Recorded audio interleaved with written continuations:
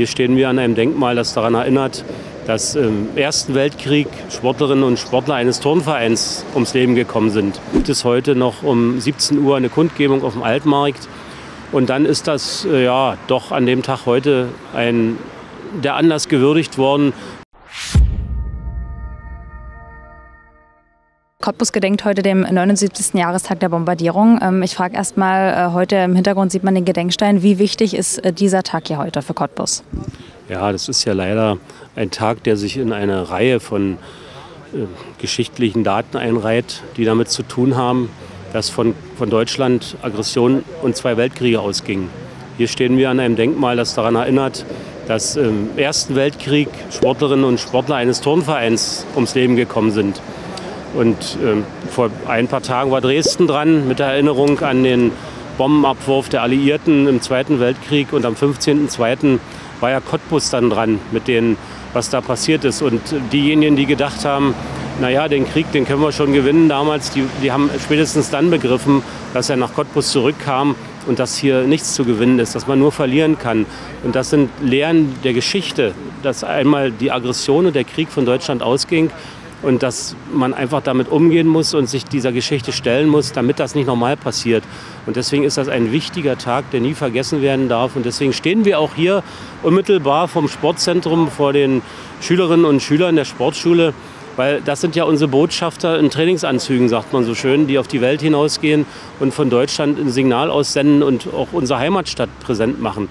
Und da muss man bei den Werten, die man im Sport lebt, auch diese Werte leben und äh, sozusagen verarbeiten, was hier passiert ist. Ich wollte gerade fragen, wie wichtig ist es auch wirklich, das Thema generationsübergreifend immer auch weiterzugeben, dass es auch wirklich äh, Jahr für Jahr nicht außer Acht gelassen wird? Ja, na eben, das darf keinen Vergessen geben. Also das wäre das Schlimmste, was passieren kann. Wir haben ja gerade wieder Tendenzen auf der Straße von Menschen, die das alles zurückdrehen wollen, wo es dann um Dinge geht, die also wirklich tatsächlich damit zu tun haben, wie es einmal begann. Ja, in diesen Zeiten, gerade auch in den 30er Jahren, bevor Hitler die Macht übernommen hat.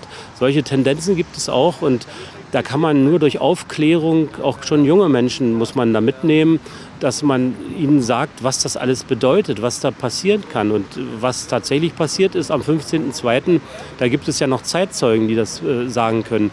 Und insofern ist das ganz wichtig, dass man generationsübergreifend dieses Wissen weiter transportiert und äh, ja, auch der jungen Generation vermittelt. Denn nichts ist schlimmer als Krieg. Und äh, wer das noch nicht verstanden hat, da muss man immer wieder nachhelfen. Es gibt ja welche, die haben aus welchen Gründen auch immer eine Beeinflussung. Und die Beeinflussung muss man auf sachliche und emotionale Füße holen. Und dann versteht, glaube ich, der Letzte auch, Krieg ist kein Mittel. Jetzt hier am Gedenkstein, wie geht es heute speziell noch weiter? Naja, jetzt ist ja gleich in der Lutherkirche das Gedenken. Da werden ja die Glocken läuten, dann um die Zeit, als der Bombenangriff war.